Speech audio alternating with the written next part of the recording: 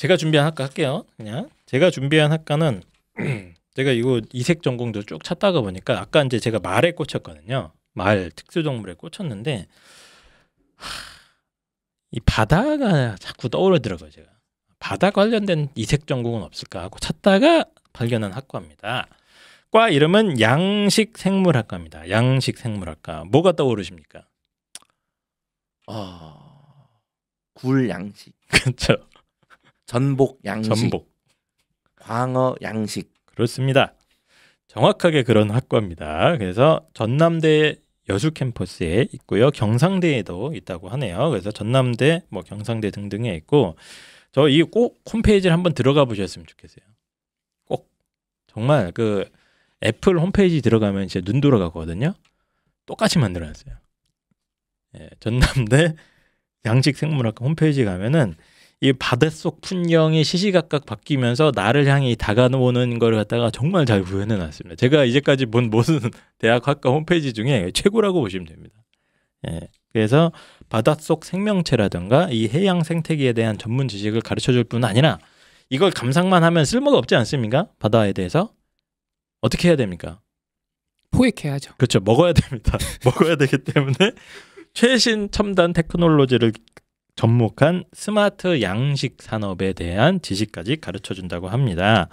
그래서 교육 과정은 굉장히 단순합니다. 일단은 수산 생물학가 그 바닷속에 있는 다양한 생명체들을 연구하는 겁니다. 뭐 장어, 뭐 상어, 돛돔, 전복, 뭐 어패류라든가 다양한 해조류 등을 가지고 이 어류들에 대한 뭐, 뭐 골격이라든가 뭐 생태적 습성이라든가 이런 걸 연구를 한다거나 아니면 직접 해부도 합니다. 그렇지. 이게 우리 같은 이제 수도권이나 이런 사람들은 이게 뭐 광어인지 우럭인지 솔직히 모르잖아요. 구분도 못 하잖아요, 솔직히. 아, 뭐 광어, 우럭 정도는 구분할 수 있는데 어쨌든 보면 막 이렇게 생선이 이건 뭐고 이건 뭐고 이건 암놈이고 이건 몇 개월 정도 됐고 이건 뭐 알이 찼고 일도 모르잖아요. 사실상. 예, 그 그런 거를 잘 맞습니다. 네, 구분할 수 있는 교육 과정. 그래서 제가 최근에 이제 자산어보라는 영화를 봤어요. 그 정약전 음. 정약용 선생님의 형님인가요? 예, 형님이 정약전 선생님께서 이제 흑산도에 유배를 가가지고 10몇 년인가 16년인가 거기서 이제 이제 이 해산물, 예, 예, 수산물들, 예, 고기나 이런 물고기나 이런 아이 아이들의 이 뭐라고 해야죠? 도감을 만드는 예, 그런 이제 영화를 본 거죠. 백과사전을 만드는 건데 어, 딱 그런 걸 하는 겁니다. 직접 다 잡아서 해부하고 해부한다면 뭐 하겠습니까? 회부하는 거랑 회 뜨는 거랑 뭔 차이가 있는 거예요? 또 먹어야겠죠. 예, 자산 오보에 보면 계속 계속 먹방입니다. 그 영화 자체가 네. 계속 문어 잡아가지고 문어 구조 파악하고 문어로 회, 뭐 먹고 뭐 이렇게 하는 어, 그런 영화를 제가 본 적이 있는데 이런 어떤 수산 생물학 이게 베이스가 되고요. 뭐 해조류학이라든가 해양 생태학 이런 것도 공부할 뿐만 아니라 해수어류, 담수어류, 뭐 무척추 동물, 해조류 등에 대한 세분화된 양식학 수업이 실습을 동반해서 운영이 되고 있습니다. 그래서 이 졸업하면 어디 가느냐? 제가 좀 찾아봤더니 이제 어, 수산 쪽으로 공공, 공공연구원 같은 게 많은 것 같아요. 그래서 해양수산과학원이라는 데가 있다고 합니다. 해양수산과학원이라던가 수협중앙회, 예, 아니면 이제 각종 수산직 공무원 등이 있어서 이런 공공기관이나 이런 거 연구직이나 공무원으로 갈 수 있는 길이 일단 하나가 있고요. 또 한 가지가 이제 아쿠아리움 이런 거 있지 않습니까? 예, 큰 수족관이나 이런 것들 어, 그런 쪽으로 빠지거나 식품 유통 관련 회사들로 가시거나 아니면 예, 직접 양식업을 하는 거죠. 예. 그래서 현실적으로 양식장을 직접 운영할 수 있는 그런 살아있는 지식까지 이렇게 가르쳐 준다고 하고 있습니다.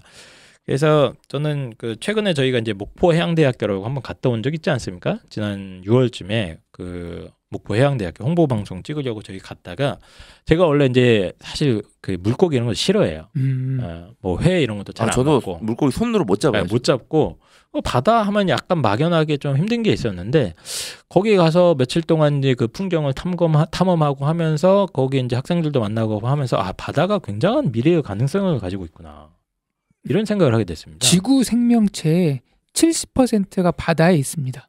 이게 바다가 모든 생명의 근원 아니겠습니까? 사실은 인간이 어디서 태어났습니까? 그런 철학적인 질문을 던질 줄이야. 저 바다에서 그 원세포 생물이라고 합니까? 거기서부터 이렇게 해갖고 여기까지 온 게 아니겠습니까? 그래서 바다는 이 지구의 어머니고 제가 오랫동안 생각해 본 결과 이 지금 지구 전체 지구가 난리가 나고 있습니다. 일단 코로나 재앙이 닥쳤죠. 그렇죠? 그것 때문에 지금 전 사회 시스템이 마비가 돼 있고 또 한 가지 또 다가오는 재앙이 하나 있지 않습니까? 기후 대재앙. 예, 기후 변화로 인해서 지금 어, 온난화로 인한 기후 변화로 인해서 재앙이 펼쳐오고 있는데 제가 봤을 때 바다는 어떤 재앙이 와도 멈추지 않는다. 이런 생각을 했습니다. 그래서 지금 특히 지금 이제 그큰 위기가 있는 게 기후 위기 문제 때문에 막 전 세계에 불나고 막 폭염으로 사람들이 죽고 이러고 있지 않습니까? 이게 점점 심각해지면 인류의 식량 문제에 큰 타격이 올 것으로 모든 과학자들이 예상을 하고 있습니다. 특히 이제 곡물 재배나 이런 게 현재 온도보다 한 2도나 3도씩만 올라가도 이 안 되는 지역이 엄청나게 늘어나고 거의 사막처럼 변할 수도 있다는 거예요. 예. 그래서 예전에 영화 중에 이제 인터스텔라라는 영화 혹시 기억하실지 모르겠는데 그 영화 초반 장면이 뭐냐면은 지구가 이제 기후 이상으로 인해서 농사가 안 되는 거예요. 예, 전 지구가 농작물이 말라 비틀어지고 수확량이 확 줄어들고 하면서 이제 인류가 망해가면서 저, 저 우주로 나가자 이런 이제 그런 컨셉의 영화였는데 실제로 그런 위기가 현실화되고 있고 곡물 농사가 안 되면 우리는 뭘 먹고 삽니까? 근데 그 정도 되면 죽어야 되는 거 아닙니까 그냥? 아, 죽으면 안 되지 이 사람아. 대안이 뭐냐면 바다에 있는 식량 자원밖에 답이 없다 이거. 그래서 지금 뭐 저도 알기로 녹조 이런 걸로. 이런 거 이런 이런 걸로 이제 뭐 곡물을 만들고 이런 것들이 연구가 진행되는 걸로 알고 있어요. 그래서 아쿠아 팜이라고 하더라고요. 보통 팜 하면 이제 이제 농장, 예, 땅 위에 있는 농장만 생각을 하는데 아쿠아 팜이라고 해서 이 바다에 있는 다양한 이제 뭐 해산물이라든가 뭐, 뭐 물고기, 해조류 이런 것들을 갖다가 식량 자원으로 활용할 수밖에 없는 그런 시대가 곧 다가온다. 이게 집에 뭐 애완동물로 이제 강아지나 고양이를 기르잖아요. 네. 그리고 뭐, 뭐 새를 기르는 사람도 있고 네. 곤충을 기르는 사람도 있고 근데 확실히 물고기를 길러보면은 훨씬 더 정밀한 전문 지식이 필요합니다. 어. 생태계가 다르기 때문에 그래요. 아. 물이라는 생태계 안에서 온도, 염분, 뭐 빛 이런 거 조금만 틀려도 다 떼죽음이에요. 아, 그치, 그치. 네, 그래서 이게 확실히 확실히 더 민감하고 이런 거에 대한 전문 지식이 더 필요합니다. 네. 이쪽 분야는 그래서 네. 어, 이 해양의 어떤 이그 그 해양 수산 자원이 인류의 저는 미래가 될 거라고 거의 확신을 하고 있기 때문에 어, 우리 아이들 중에 또 생명이나 이런 거 공부하고 싶었는데 이걸 사실 졸업하고 진로가 뭐 딱 마땅치가 않거든요. 생명과학이나 이런 거 공부했을 때. 근데 최고의 그 진로 중에 하나가 되지 않을까. 이 바다가. 그 해양 생물학과인가요? 뭐 비슷한 그거랑 겁니다. 비슷하다고 예, 볼수 있죠. 예. 음. 근데 이제 해양 생물학과는 해양 생물 자체를 연구하는 거고 음. 이건 연구한 다음에 한 걸음 더 나갑니다. 어떻게 이거 어떻게, 뭐- 입에 넣을 것인가? 어, 저 실용적인 거네. 그렇습니다. 네. 이거를 어떻게 번성시켜서 우리가 식량 자원으로까지 어, 활용을 할 수 있을 것인가 이런 것까지 혹시 그 빵쌤 해양 생물학과 아니었나요? 맞습니다. 빵쌤 해양 생물학과 들어가가지고 뭐 여기저기서 해변가에서 삽질하고 뭐 그랬잖아요. 이게 그 또 여수 캠퍼스 있는 게 의미 있는 게 그쪽으로 해서 이제 좀 그 뭐 목포 뭐 이렇게 아, 그쵸, 신안군 진도 막 이렇게 지금 양식장들이 많잖아요. 맞습니다. 그래서 그렇게 좀 연결이 돼, 돼 있는 거고 네. 그리고 뭐 한시엠은 이렇게 막 되게 거창하게 미류 뭐 미래 어 뭐 인류가 위기에 처하면 뭐 이제 어 바다에 들어가 살아야 된다 뭐 이렇게 얘기를 하는데 솔직히 그 정도로는 이게 학생들이나 부모님들이 혹할 거라고는 생각하지 않고 저는 양식 양식. 양식 이 양식이 의외로 돈이 많이 됩니다. 아 이거 이게 이게 상당히 돈이 많이 됩니다. 그, 그 보통 이제 소 목장 같은 거 예. 하면은 떼돈 뭐뭐 소 한 마리에 400만 원 이러니까 그렇게 생각하시는데 이것도 장난 아니에요. 그러니까 이거 뭐 소 이런 거는 비교할 바가 아니고요. 음. 그게 정말 전복 양식 이런 거 제가 군대 에 있을 때 친한 이 선임이 이 전복 양식을 하셨거든요. 아 진짜로요? 네. 근데 그때 해봤자 내 선임이라고 할 때 20대 중반도 안 됐단 말이야. 그래서 막 왜 이걸 하냐니까 일단은 집 아버지는 아니고 집 누가 그지 그걸 하는데 할 사람이 없다는 거야. 어. 할 사람이 없대 이게 진짜로. 그렇죠, 그렇죠. 사실 이제 뭐 일이 쉽진 않겠죠. 쉽진 않지. 네. 어, 근데 이제 아마 농촌에도 누이 농사 짓는 사람도 없, 없, 없 듯이 양식하는 젊은 사람도 분명히 없을 거라고. 그쵸, 어? 그쵸. 그래가지고 그런 말도 있잖아요. 양식장으로 끌려간다. 아이, 무슨 뭐 아니, 이런 말도 안 되는 이런 얘기를. 그만큼 인력이 부족하다는 거잖아요. 네. 그래서 저는 당연히 양식에 관심 있는 이 젊은 이는 본 적이 없고 음, 이런 게 돈이 되는 겁니다. 이런 게 맞습니다. 맞습니다. 이런 게 지금이야 전복 한미 뭐 삼이 이렇게 해가지고 이렇게 뭐 만 원, 오만 오천 원 파는데 만약에 나 혼자 이제 전복 양식을 독점한다고 생각해봐. 맛있겠다. 그럼 내가 주는 대로 5만 원이야. 뭐 안 줄 거야? 물론 이제 극단적인 거예요. 아, 그. 그때 그 군인대 선임분께서 예. 상당히 부유했습니까? 아, 상당히 부유했어요. 어. 어느 정도 하면 휴가 갔다 오잖아요. 전복을 택배로 보내서 갖고 와. 그건 안, 안, 안 팔리는 정복 갖다 준 거 아니야? 아니 말. 야, 전복이 얼마나 비싼데 한 여섯 마리 잡으면 한 10만 원 나옵니다. 그거. 그렇습니다. 그래서 이 양식 생물학과 굉장히 생소하고 특이한 전공이고 뭐 저는 일단 맛있게 먹을 수 있는 거배 터지게 먹을 수 있지 않을까 이런 데 가면은 그래서 전복, 조개, 새우, 광어, 우럭, 장어 등등등 해서 어 내가 해산물에 약간의 좋아한다. 몇, 몇몇 종은 아직까지 양식이 안 된대요. 어, 맞아요. 그런 것도 연구하는 너무. 까다롭고 민감해서 만약에 그런 걸 연구해서 양식 성공한다? 네. 말 그대로 펜타클 말, 말 그대로 돈방석이 앉는 거예요. 맞아요. 그런 게 지금 양식하는 것 중에도 원래 안 됐, 안, 양식이 안 됐던데 연어 이런 것도 요즘 양식을 한대대. 많거든요. 네. 그래서 분명히 학생들 중에 그 해산물, 해산물이라도 그렇고 생, 생선, 어류, 어류에 관심 있는 학생들 되게 많아요. 맞습니다. 아 그래요? 네, 좀 곤충에 있어요. 관심 있는 학생들 있듯이 네. 이 학생들 같은 경우에는 만약에 우리 아들이 우리 딸이 엄마 나는 너무 막 물고기를 하면 막 너무 좋아. 음. 근데 야, 야, 그 나중에 어항이나 기르고 어? 저기 어 컴퓨터 공학과 가서 취업해야지. 어? 이거잖아요 대부분의 네. 부모님들이. 그러니까 저는 과감하게 그렇죠. 진짜 괜찮습니다. 예. 음? 그래서 그 유튜브도 하고 양식 브이로그. 뭐. 아까 제가 말씀드렸잖아요. 개통령 그 강영욱 씨 네. 그분 유명한데 이것도 마찬가지로 물고기 통령이 되는 겁니다. 예. 그쪽에 가서 양식 산업 굉장히 어, 전도 유명한 산업이라고 저는 생각을 하고 특히 젊은 인력이 많지 않고 이건 사실상 전문직입니다. 예, 전문직이죠. 예, 전문적인 지식을 활용해서 생명과학을 좀 연결시킨 전문직이기 때문에 오는 날 양식장 브이로그. 네. 그렇고요. 일단은 이 과는 음, 정말 제일 좋은 게 뭐냐면 거의 지원만 하면 합격이 가능하다. 예, 지원만 하면 합격이 가능하고 성적은 합격자 성적은 공개돼 있는데 한번 직접 찾아보시기 바랍니다. 아, 그래서 바다가 아직은 인류에게 밝혀지지 않는 부분이 너무 많기 때문에 미지의 세계에서 어, 본인의 꿈을 실현하고자 하는 모든 사람들한테 강력하게 추천을 드리고 싶습니다. 전남대학교 양식생물학과였습니다. 자, 그 다음 전공은 넘어가도록 하겠습니다. 자, 그 다음 전공은 펜타쌤께서 제가 뭡니까? 소개해드릴 이색 전공은 요거는 아마 좀 많이 들어보셨을 수도 있어요. 어, 이거 근데 여기도 4년제 기준으로는 이 학교 이 학과가 유일합니다. 그렇죠. 네. 을지대 장례지도학과입니다. 저도 자주 봤는데 네. 궁금하더라고. 아 근데 제가 이제 네. 장례지도학과를 알게 된 게 예전에 친한 선배 그, 그 장례식장 어디더라 무슨 이제 서울에 있는 무슨 그 그걸 뭐라 그러죠? 이제 추모공원 같은 네네. 거 거기에 이제 이 실습 나온 학생들을 봤거든요. 아, 어. 그래요? 예.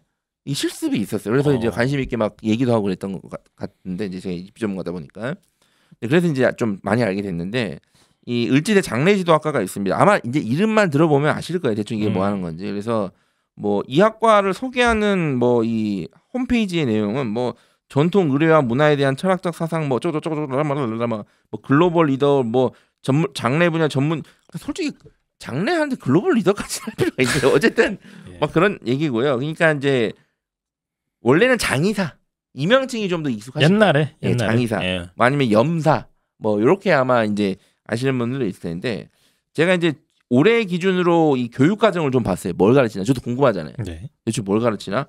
그런데 생각보다 이 종합 학문입니다. 이게. 어 그래요? 예. 아니 보세요. 이게 이제 내가 이제 장례 지도사라고 생각해 보세요. 네. 그러면 이제 예를 들어서 이제 돌아가신 분도 이게 정리도 해야 되고 어? 음. 이렇게 이제 기본적인 이 처리 과정, 처리 과정이라는 이제 과정이 있잖아요. 네네네. 그리고 뭐 시신을 어떻게 안치하고 이런 것도 있고 그 다음에 이렇게 묻고 또 그다음에 이렇게 하는 것도 있고 그다음에 또 이제 부모님들 아니 뭐이 유가족들 상대로 막 다양한 것들도 해야 되잖아요. 그래서 네. 되게 복합적인 학문이더라고요. 그래서 아 이게 웃으면 안 되는데 네. 학문 이게 웃겨요. 교과목 웃긴 게 교과목이 뭔가 되게 생사학 생사학. 생사학 뭔가 뭔가 엄숙하지 않습니까? 음.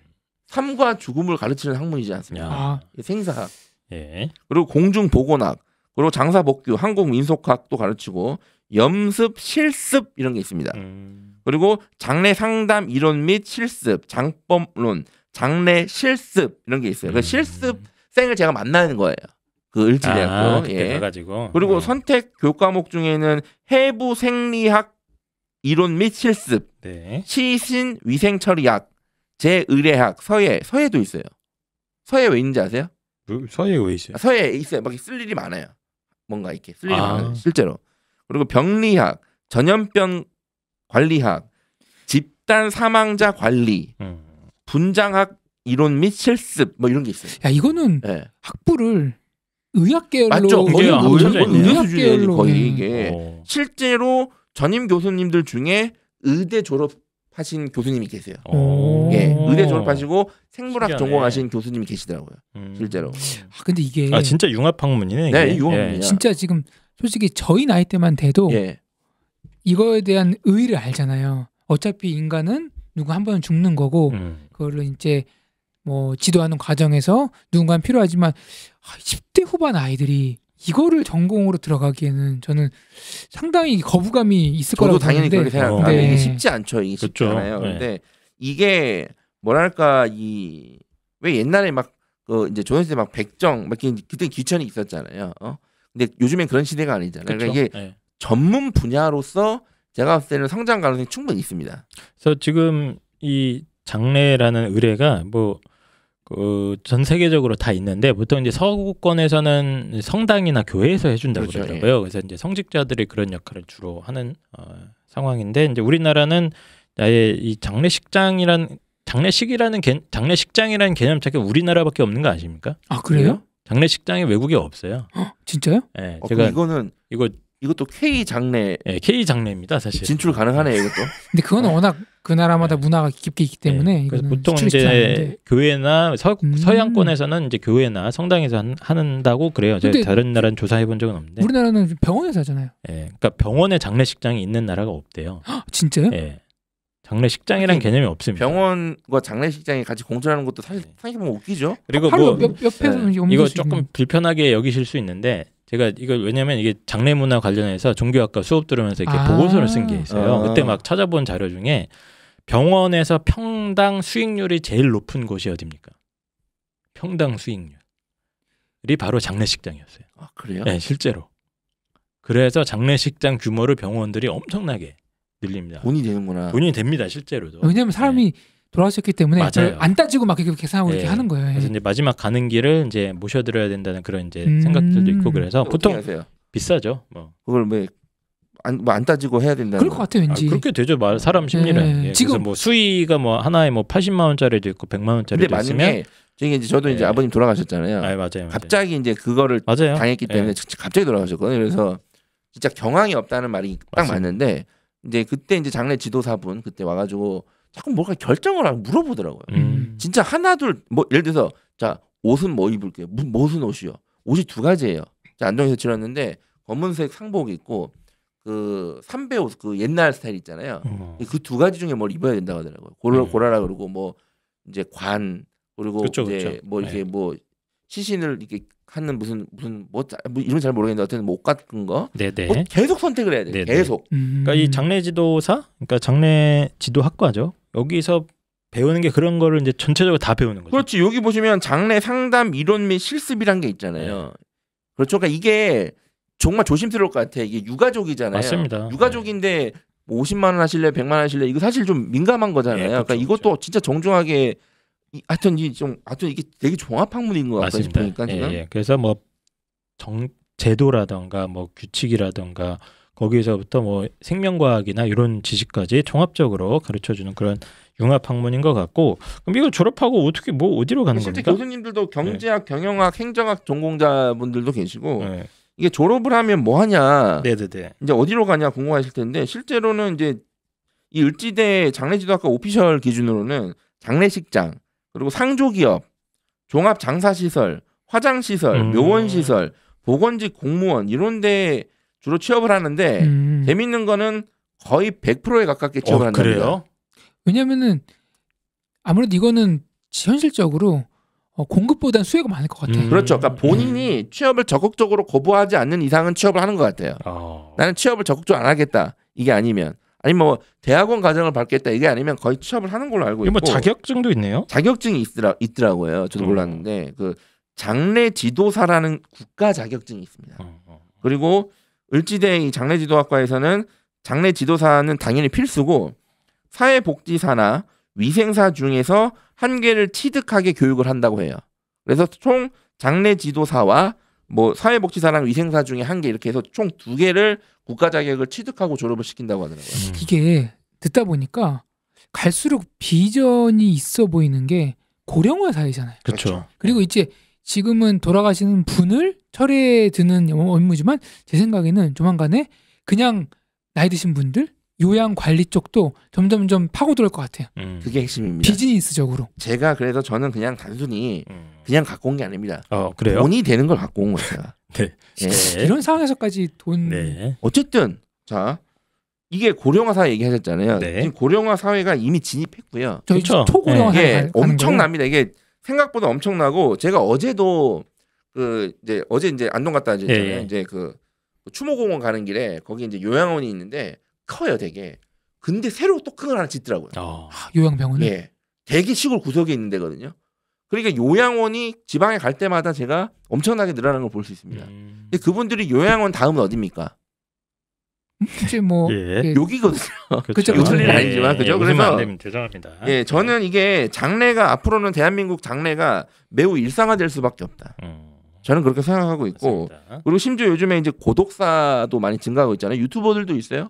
노인 청년 할 것 없이 고독사가 증가하고 있고 그래서 저는 이게 앞으로 수요 대비 공급이 매우 부족할 직종으로 보고 있기 때문에 예. 저는 사업적인 마인드와 시대를 읽는 센스만 갖춘다면 저는 이 학과를 졸업한다면 매우 대부호로 성장할 가능성이 있는 직종으로 저는 개인적으로 보고 있습니다.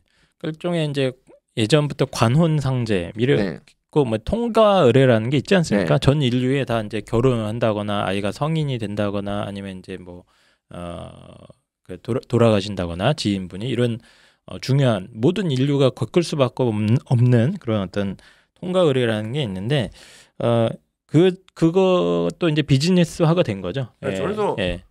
혼례도 예전에는 필수적인 건데 요즘엔 선택이잖아요. 네. 그렇죠. 그래서 뭐 웨딩 플래너 이런 거는 뭐 직업이고 그렇죠, 그렇죠. 장례 아, 지도사는 같습니다. 뭐야 예. 그건 뭐야 그런 거. 옛날에도 보면 예식장이라는 것도 또 찾아보시면은 우리나라밖에 없는 거 아세요?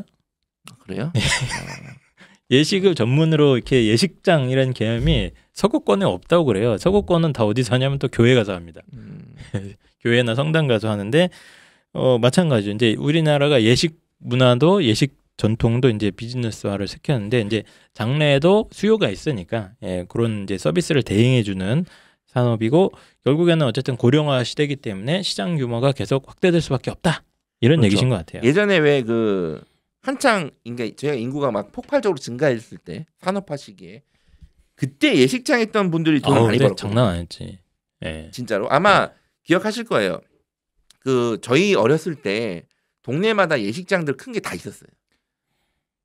아 있었죠. 예, 다 돈- 있었죠. 돈이 많이 되는 거는 예, 연예인들이 하거든요. 예. 예. 음. 연예인들이 그때 예식장을 거의 다 했어요. 아, 그래요? 자기 맞아, 이름 맞아, 걸고. 맞아. 예. 예. 네. 그래서 저희 아버지도 맨날 저한테 얘기한 게 자기가 맨날 결혼식장에 갔다는 거예요 주말마다. 음. 예, 이게 뭐 농담만 받, 뭐 진담인지 모르겠지만 실제 되게 자주 가셨거든요. 음. 그래서 그 예전에 우리가 다 매주 그 예식장에 갔듯이 인생은 돌고 돌아서 결국 끝이 오거든요. 다시 또 가야 된다. 장례식장 그렇습니다. 앞으로 예. 매주 가야 된다. 매주 갔듯이. 그래서 장례 문화, 그러니까 장례 또뭐 일종의 산업으로 생각하셔야 될 것 같아요. 그냥 그렇죠. 이제 뭐 기분이 조금 예, 약간 불편한 면이 없지 않아 있는데 일종의 산업 형태로 지금 진화를 한 거고 저는 앞으로 그 산업의 예, 전문가를 뽑 만들어준 학과가 장례지도 학과다. 예. 이렇게 앞으로 좀 시대에 맞춘 장례 문화 도입도 필요하지 않나. 시, 시대에 맞춘 거예요. 예. 뭘 또? 뭐 예를 들어서 이제 우리가 유언을 남기잖아요, 보통은. 아 예. 예. 죽기 전에. 그리고 저는 이게 유언을 이제 장례식도 어떻게 할 것인지 유언을 좀 미리 받아서 장례식. 어? 내가 혹시 죽고 돌아가시면 장례식은 어떻게 할까? 그러니까 이게 아플 때가 아니라 이렇게 건강할 때 받는 거야 그런 것들 다. 음. 내가 인생의 정점에 있을 때 나의 장례식은 이랬으면 좋겠다. 어 떻게 하려고요? 나는 만약에 판타지하면. 그런 게 있으면 난나 같으면 예를 들어서 어 클럽 DJ 불러서 춤판으로 가자. 그럼 이제 그 자제분이 그럴 거 아니에요. 아 저희 아버님이 이때부터 조금 정신이 좀 총명기가 떨어지셔서 좀 실현하신 것 같다. 아, 이렇게 이렇게, 이렇게 할 수도 근데 있어요. 그 이제 그걸 모르시는데 네. 우리 장례 문화의 핵심이 장례식장이 되게 원래 시끌벅절해 벅절해야 원래 되거든요. 그렇죠. 예. 시끄럽고 막 웃고 떠들고 그래야 돼요. 술 먹고 막. 네. 뭐 뭐 뭐 그런 예. 있죠. 네. 그거를 약간 최신 형태로 바꾸는 거죠. 예. 클럽으로. 예, 그래서 이제 그러니까 예를 든 겁니다. 예를 든 겁니다. 예. 그래서 예. 이제 시- 뭐 시대에 맞춘 장례 문화 도입을 좀 해야 된다. 예. 그리고 궁금한 게 있는데 이거는 이제 혹시 그 이유 아세요? 뭐가 이건 저도 몰라서 물어보는 건데 그 장례식장 가면 맨날 나오는 음식이 똑같잖아요. 거의 비슷하죠. 그러니까 예. 거의 비슷한 게 거의 90% 싱크로 장 맨날 아시잖아요. 육개장. 홍어 무침, 호박전, 떡 이런 거잖아요. 예. 그리고 뭐 쥐포 그 땅콩이랑 이런 아, 식으로 예, 해가지고 예. 그리고 술안주. 그럼 뭔지 아시죠? 네. 어딜 가도 똑같은데 그거 그거 누가 정한 건가요? 그 나라에서 정한 건가요? 그거? 국룰이라고 하죠. 국룰. 예. 그거 왜 똑같은 거예요? 제가 아는 바로는 예. 대한민국의 이 장례식장에 공급하는 요 육개장 끓이는 회사 있잖아요. 네. 여기 대한민국에 한 군데가 두 군데인가로 알고 아, 있어요. 그래요? 그래서 거기서 다 공급을 하는 아, 거고. 확인된 겁니까? 네. 어. 왜냐면은 그래서 많이 다니시는 분은 딱 먹으면 아 이건 A, A 회사 거구나 B 회사 거구나 안 다르더라고요. 아마 그 당시에 그 예, 옛날에 그 네. 당시에는 이 음식이 귀해서 음. 한번 오시면은 한번 그래도 가시는 그치, 길 육개장. 나왔으니까 좀 네. 푸짐하게 대접한다는 네. 게 이거였을 거고 일종의 상징적으로 자리 잡은 거 아닌가? 예, 이런 그리고 사실 음식들이. 이런 문화는 누가 어디서 바꾸기 쉽지 않아요. 그쵸. 한번 정해지면은 그냥 세팅으로 가는 거지. 그래서 이게 이게 좀 앞으로 장례 문화 도입을 해야 된다니까. 어. 이게 또 장례식장을 피자 주로 낮에 가십니까? 밤 늦게 가십니까? 밤늦게 가니까요. 밤 늦게 가면 그런 게 좀 부담스러울 수도 있잖아요. 치킨 갑니까 치킨? 치킨도 부담스럽잖아요. 이게 개탄 맥락이잖아요. 네. 약간 좀 가볍게 이제 뭐 과일 세트 이런 거. 알겠습니다. 자 그래서 어, 장례 지도학과 저도 개인적으로 오랫동안 지켜봐 왔던 학과고, 그러니까 어쨌든 죽음을 다룬다는 문제 때문에 약간의 거부감, 심리적 거부감이 있을 수 있겠습니다만, 뭐 전망이라던가 어떤 전문성으로서의 지위를 생각을 하면 괜찮다 이런 생각을 예, 저 꾸준히 해왔던 학과예요. 이게 이제 부친상을 치러본 입장으로서 음. 정말 많은 의미 있는 일을 하도 하고 있는 맞습니다. 분들입니다. 맞습니다. 그래서 예. 뭐 개인적으로는 여학생들이 이 학과에 얼마나 있는지 잘 모르겠으나 여성 인력도 매우 필요한 분야라고 좀 보거든요. 앞으로 음. 네, 저는 그래서 뭐 어떤 그런 게 있고 이게 서양은 네 장례 문화가 가벼운 파티 느낌이에요. 음. 왜냐하면 그렇죠 맞아요. 어. 왜냐하면 돌아가신 분이 끝났다가 아니라 더 좋은 곳으로 다른 곳으로 갔다는 인식이 있어요. 그러니까 슬퍼할 이유가 없는 거예요. 여기서의 삶을 다 마무리하고 더 좋은 네. 곳 갔으니까 우리가 같이 모여서 한번 축하해주자 이런 느낌이거든요. 네. 그래서 아마 대한민국도 점점점 사회가 바뀌면서 조금은 더 지금 너무 침울하고 뭐 슬퍼하는 건데 그렇죠. 예, 예. 조금 뭐잘 어쨌든 인생을 사신 거에 대한 죽음이라는 네. 게나 누구나 다 겪을 수밖에 없는 사건이기 때문에 그런 거고요. 얼찌대 지금 등급으로는 어느 정도 갈수 이게 이제 있어요? 성남 을지대가 이제 대전인가도 있고 네네. 지방에도 있고 하잖아요. 그래서 성남 캠퍼스 기준으로 사실 좀 낮은 편입니다. 이 학과가. 음. 그래서 4등급 때까지도 충분히 한번 입학을 도전해 볼 수 있어요. 다양한 전형을 통해서. 그래서 그렇게 뭐 아무나 갈수 있는 건 아니네요. 예, 그렇게 아우 그냥 이게 원서 쓰면 아까 세종 사이버대 유튜버 학과 같은 그런 느낌은 아니고요. 어쨌든 예, 한 4점 예 중후반까지는 4등급 갈수 있는. 때까지는 네. 한번 다양한 방식으로 노려볼 수 있다 충분히. 네. 그런 학과가 되겠습니다. 그래서 어, 을지대학교 장례지도학과 저는 떼돈을 벌수 예. 있다. 예, 이 돈이 다는 아닙니다만 전문성을 갖춘 나름 돈이 괜찮은 답니다. 학과다. 예, 네, 살아보니까 돈이 답니다. 알겠습니다. 자, 돈이 다인 펜타킬 선생님과 함께하고 있는 방송이고요. 그 다음으로 빨리 넘어갈게요. 제가 마지막으로 준비한 학과는 예. 아까 제 컨셉을 정했죠. 놀고 먹고 유튜버만 보는 아이들을 위한 솔루션. 네. 이제 놀고 유튜버 했으니까 먹는 걸 해야겠죠. 아, 갑니다 또. 네. 전남과학 대 호텔 조리 김치 발효학과입니다. 이름이 길죠? 김치 발효할까요? 네. 뭐예요 이게? 호텔 조리 김치 발효학과. 네. 근데 요것만 하기 좀 아쉬워서 그 옆에 세트가 있어요. 세트? 네, 세트는 호텔 커피 칵테일과입니다. 네. 커피 칵테일 과가 있어요? 네, 그래서 이걸 왜 정했냐면은 호텔 조리 김치 발효학과가 나이 제한이 있어요. 음. 몇 살이에요? 25살이 넘어야지만 지원 가능해요. 아, 오히- 오히려 나이가 어리면 안 된다. 애들은 가라. 아. 니들이 김치를 알아? 예. 니들이 발효를 알아? 그런 느낌 아닐까 싶어요. 근데 이 이런 과들이 서울에 있는 주요 대학들도 몇 개 있는 게 있어요. 이제 아. 뭐 명지대인가도 있고 몇 개 있어요. 이제 이런 약간 평생교육학과 느낌으로 해서 아, 네 고등학생들 지나기 힘든 학과 있어요. 사실 발효 음식이 해보시면 아- 아시겠지만 파스타 뭐 이런 것들은 살- 금방 배우면 합니다. 음, 음, 음. 근데 발효는 쉽지 않아요. 아 그러네 생각해보니까. 이거 세- 생각보다 고난이도 음식. 우리가 어 열심히 배우면은 뭐 볶고 지지고 찌는 건 하지만 발효시키는 거는 네. 기후, 온도, 오랫동안의 뭐 날씨 이런 것들을 생각보다 쉬운 게 아니에요. 장 담그고 장아찌 담그는 거 우리 못 하잖아요. 네. 엄두를 못 내잖아요. 그래서 근데 이러한 어떤 한국 발효 음식의 전통을 아, 계승할 후계자를 기르는 좀 그런 느낌이라서 어 조금 진지하게 네. 진지하게 예, 저희 일을- 진지합니다. 예. 진지- 진지하게 아 요런 한식의 세계화에 이바지할 학생들만 받는다 네, 그런 음, 컨셉입니다. 알겠습니다.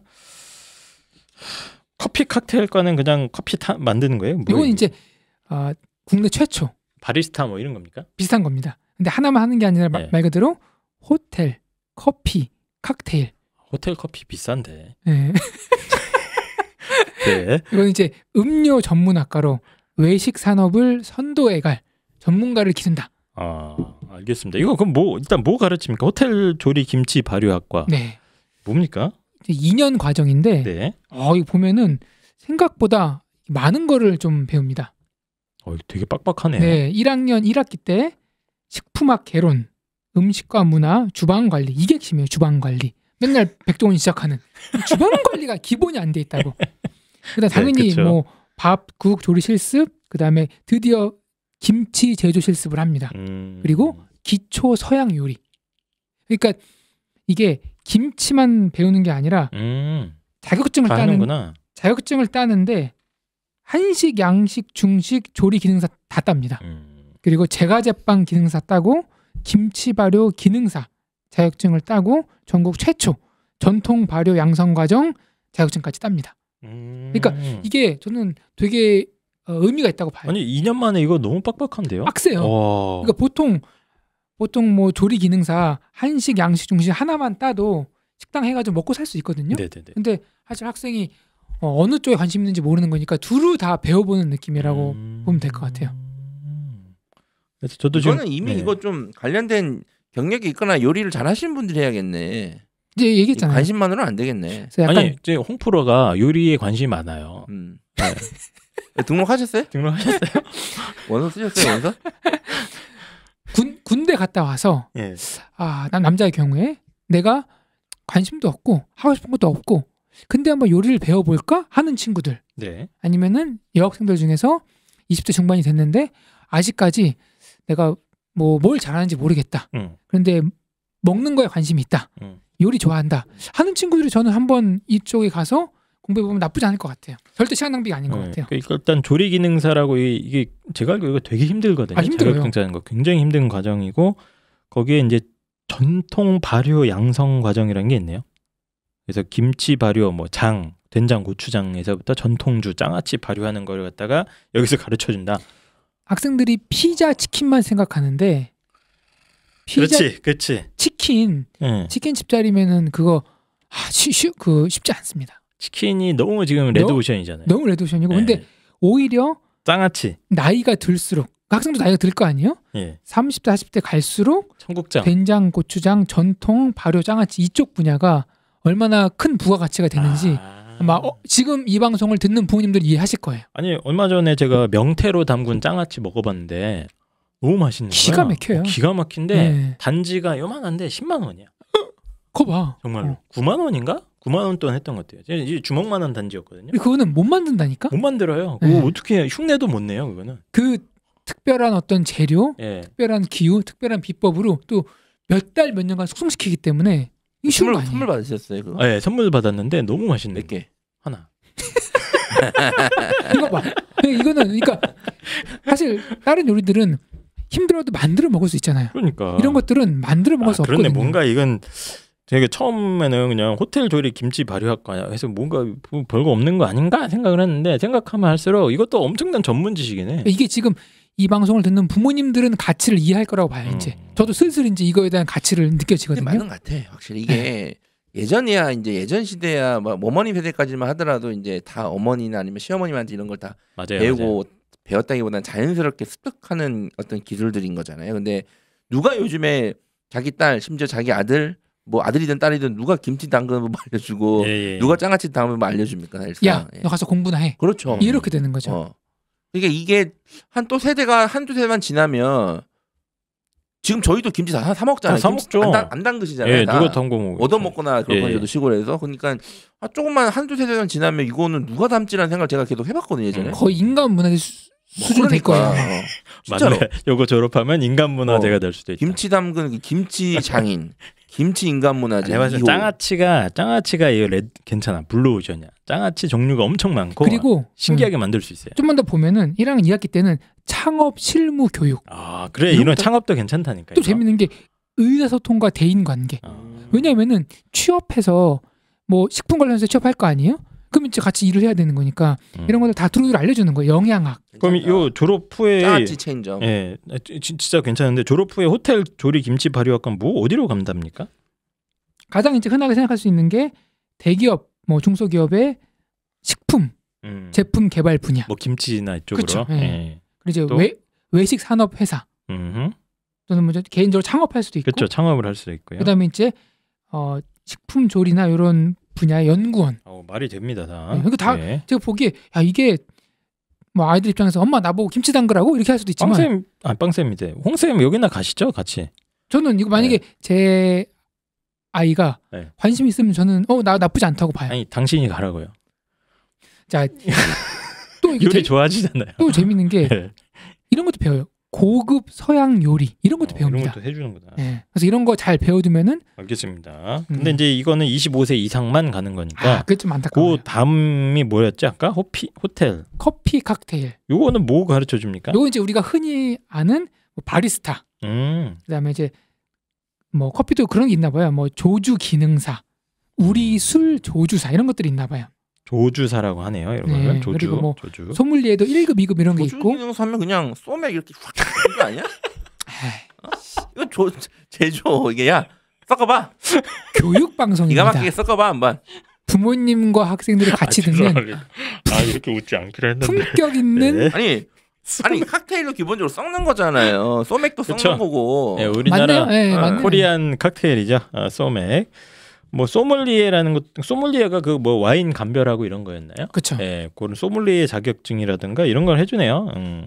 기본적으로 이런 자격증 어차, 어차피 어차피 관심이 있으면 이런 자격증은 따게 될 확률이 높아요. 음. 그래서 이런 것들은 싹 종합적으로 학생들이 싹 관심 있는 거를 한번. 딱 음. 배운, 배운다. 아. 그렇게 이해하시면 될 것 같습니다. 그이 팍은 어떻게 합니까 이거 이제? 어, 제일 중요한 게 나이입니다. 아까 얘기했듯이 음. 나이. 만 25세 이상이면은 호텔 조리 김치 김치 발효 과. 예, 저희는 만- 가능하네요. 만 24세 이하는 호텔 커피 칵테일과. 와 근데 진짜 괜찮을 것 같다. 장아찌 체인점 괜찮을 것 같은데. 괜찮다니까 하자니까 우리. 무슨 장아찌 나오는 날 뭐 이런 식으로 딱. 야.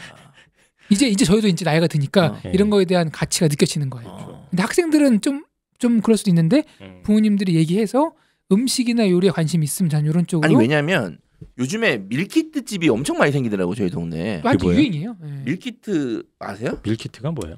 키트 키트를 파는 건데 밀 음식이죠. 아 음식 세트. 도시락 박스 같은 거. 24시간이고 무인으로 해요. 아. 그래서 이제 두 개가 갑자기 생겨가지고 어. 집에 가는 길 새벽에 한번 구경을 해봤거든요. 그런데 무슨 부대찌개 이런 거 이렇게 막 다 이렇게 막 재활용 이렇게 해가지고 막 만 이천 원, 만 오천 원 파는 거예요. 막 이런 속으로는 아, 이런 거를 왜 돈 주고 사 먹지? 음. 할 정도로 근데 장아찌는 대박이잖아요, 사실 이런 거. 아까 9만 원? 네. 한 통에 9만 원. 진짜 그 정도 또 사 먹을 의향이 있으세요? 팔면 동네에서? 어 당연하죠. 그거 그 구하기가 힘들어요. 그건 근데. 그래요? 네. 괜찮을 것 같은데? 네. 알겠습니다. 그래서 일단 나이가 중요하고 그냥 이것도 지원만 하면 됩니까? 거의 그렇습니다. 예, 거의 그러면 되는 거고 좀 요리라는 게 이제 일종의 이것도 산업화가 되지 않았습니까? 예, 그리고 뭐 방송에서도 이제 맛집이라든가 뭐 백종원 씨 같은 분들이 이제 인기를 끌면서 맛집 우리나라의 음식 산업이 사실은 이제 이제 막 저는 확대돼가는 과정이라고 저는 생각을 하는데 어떤 음식 산업에서 어 나의 미래를 한번 찾아보고 싶다 했을 때 저는 이 김치 발효 아까 이거는 약간의 틈새 시장 느낌도 있으면서 어, 그리고 이것도 이미 시장이 확보가 돼 있잖아요. 우리나라에 다 김치 안 먹는 사람이 어디 있습니까? 예, 그렇기 때문에 여기서 전문성을 쌓아두면 분명히 이것도 예, 여러 가지 각도로 써먹을 수 있겠다 이런 생각이 한번 들었습니다. 아, 그래서 어, 전남 과학대네요. 호텔 조리 김치 발효학과 그리고 뭐 사이드로 호텔 커피 칵테일과도 있으니까 한번 이쪽 분야도 어, 관심 가져주시면 재밌게 할 것 같습니다. 자 그러면 그 다음으로 넘어가겠습니다. 자그 다음 전공입니다. 이거는 이제 제가 이 과를 공부하면서 아 이거야말로 인문학의 희망이다 이런 생각을 했습니다. 모든 인문 대학이 이런 형태로 과를 만들어야 되지 않을까 생각을 했고요. 어, 조선대학교고요. 조선대학교 K 컬처 공연 기획학과입니다. 드디어 K 컬처가 네, 나왔네요. K 컬처 공연 기획학과. 조선대 이제 광주에 있지 않습니까? 광주에 있는 대학인데 K 컬처 공연 기획학과는 이렇게 이야기가 개요가 설명이 돼 있어요. 스토리텔링과 인문학을 바탕으로 K 퍼포먼스, K 뮤직, K 댄스 및 콘텐츠 개발 분야에 있는 관심들의 관심 있는 콘텐츠 개발 분야에 관심 있는 학생들에게 전문적인 실무 교육을 제공하겠다. 미디어네요. 학생들이 그렇게 하고자 하는 미디어. 미디어가 사실은 여기 다 있네요. 미디어인데 이제 인- 엔터테인먼트 산업에 이제 초점을 맞춰져 있는데 심지어 배우나 가수를 꿈꾸고 있는 아이들도 와라 이렇게 돼 있어요. 가르쳐 준다고 합니다. 그래서 배우, 가수 등 다양한 분야의 엔터테인먼트인을 엔터테이너를 양성함과 동시에 연출이라던가 뭐 무대 등의 전문 어, 예술인을 양성하기 위해 설립되었다 이렇게 되어 있습니다. 그래서 교육 과정을 한번 쭉 한번 살펴봤는데 이제 과목이 과목들이 이런 것들이 있어요. 뭐 K 컬처테인먼트의 이해라는 과목이 있습니다. 컬처테인먼트가 뭔지 아십니까? 컬처 엔터테인먼트겠죠. 그렇겠죠. 그래서 다양한 신조어들을 쓰고 있는데 K-팝, K-무비, K-드라마, K-뷰티, K-푸드, K-패션, K-스포츠. 아이고 다다 K를 붙였네. 네. 우리나라의 어떤 대중문화를 갖다가 통합적으로 이해하는 그런 수업인 것 같고요. 나중에 K 입시도 K 입시. 수출되는 날이 올까요? 예. 지금 수출되고 있죠. K 입시. K 학원이. K 학공. 예. 그래서 한국 전통문화 컨텐츠를 공부를 한다거나 아니면 이제 공연예술 기획 이런 수업들도 있고 영상 촬영 촬영이나 편집에 대해서 공부도 하고요. 연기도 가르쳐 줍니다. 연기. 뭐 대본을 어떻게 해석할 것인지 어떻게 할 것인지에서부터 무대 연출 등까지 해서 실습을 할 수 있는 일종의 연극 영화학과 수업들이 여기 포진이 돼 있어요. 음. 방송 연애와 연극 영화에다가 이제 K 문화에 대한 어떤 이론적인 수업까지 통합적으로 해주는 그런 학, 학과입니다. 그래서 한류 문화 컨텐츠 산업에 대한 전반적인 이해 플러스 아이들이 우리 아이들이 좋아하는 공연이라든가 영상 컨텐츠들을 직접 기획하거나 연출하거나 제작할 수 있는 실무 능력을 키워주는 아주 핫한 학과다 이렇게 생각을 하게 될 것 같습니다. 그럼 이 학과 나오면 뭐가 되느냐? 써 있어요. 연기자가 될 수도 있고요. 가수가 될 수도 있고 방송인이 될 수도 있습니다. 또 무대 예술이나 연출 분야의 전문가 혹은 무대 영상, 음향 혹은 뭐 의상 쪽의 전문가가 될 수도 있고 방송이나 광고 PD, 뭐 콘텐츠 기획자, 그리고 연예 기획사에 들어갈 수도 있다. 특히 뭐 그 3대 연예 기획사 있지 않습니까? SM 뭡니까? 또 YG, JYP 이런 엔터테인먼트 회사에도 우리가 필요한 인력을 공급해 줄 수 있을 것이다라고 이렇게 어, 얘기가 되고 있습니다. 그래서 제가 이과를 보면서 어, 되게 추천하고 싶었던 이유가 뭐냐면은 이과 교육 과정을 보면 약간 흔한 평범한 방송연예과랑 좀 다릅니다. 예. 방송연예과랑 교육 과정이 상당히 겹치는 부분이 있는데 여기 보면 이제 연기나 연출 이런 실습뿐만이 아니라 인문학에 대한 기초 교육 과정을 막 강조를 하고 있어요. 그래서 뭐 현대 매체 미학이라든가 공연 예술 이론이라든가 뭐 스토리텔링 같은 것들을 공부를 하고 있어가지고 어 이것들이 약간 이제 어 다른 방송연예학과랑 어, 인문학이랑 합쳐져 있다는 거에 어, 특징적인 것 같은데 제가 이 교육 과정을 읽으면서 아 이게 바로 우리 인문대학이 나아갈 길이 이게 아닌가 이런 생각을 하게 됐습니다. 스토리텔링 핵심이에요. 네. 스토리텔링. 그래서 인공지능과 인간이 싸워서 이길 수 있는 게 과연 뭐가 있을까 생각을 해봅시다. 수학 이런 거 안 되지 않습니까? 우리가 이제 바둑도 안 됩니다. 예. 뭐 전략 전술 짜는 거 다 안 됩니다. 뭐 예를 들면 세무사 이런 건 다 대체됩니다. 의사도 대체된다는 설이 있습니다. 다 대체되는데 인류가 인공지능에 맞서 싸울 수 있는 최후의 무기가 뭐냐면 바로 인간의 상상력과 표현력 아니겠습니까? 공연 기획하는 게 맞습니다. 되게 전문적인 지식을 요구하는 거고 네. 같은 공연도 예. 위치나 방향 좀만 달라도 느낌이 아, 완전히 맞아요. 다르고 예. 최근에 엄청 성공한 뮤지컬 중에서 위키드라는 게 아 예. 이게 오즈의 마법사 있잖아요. 음. 거기에 나쁜 마녀가 나오는데 그 마녀가 왜 나쁘게 될 수밖에 없었는지 성장 배경을 다루는 뮤지컬이거든요. 어, 재밌네, 이런 그러니까 거. 이런 식으로 사실 이제 아마 그런 관련된 일을 하는 것 같아요. 네. 그래서 한국도 되게 많은 스토리들이 있거든요. 맞습니다. 그 안에서 이제 이런 것들을 전문적으로 하는 아, 인력들을 길러내는 네. 학과 같습니다. 그래서 인간의 어떤 상상력과 표현력을 갖다가 총체적으로 가르칠 수 있는 수업들을 잔뜩 깔아놓고 있기 때문에 저는 여기서 이렇게 막 연기 이런 것도 가르쳐주고 되게 되게 좋은 게 아 내가 우리가 인문대 다니면서 이런 거 한번 배워봤으면 어땠을까 하는 생각이 들더라고요. 어떻습니까? 편택에서 연기 이런 거 배워보고 싶은 욕심 없어요? 1도 없었습니다. 인생이 쪼커기 때문에 아, 거 가르쳐야 돼 인문대에서. 왜요? 제가 아까 말씀드리지 않았습니까? 인공지능과 상대하기 위해서 우리는 상상력을 다르게 키워야 되고요. 내 생각을 어떻게 표현할 것인가. 이게 이걸 그거- 배워야 됩니다. 부가가치가 높아요. 그리고 이거를.